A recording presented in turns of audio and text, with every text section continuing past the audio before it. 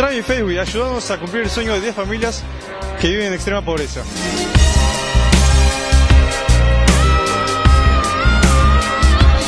Luchemos juntos por una sociedad más justa y sin pobreza.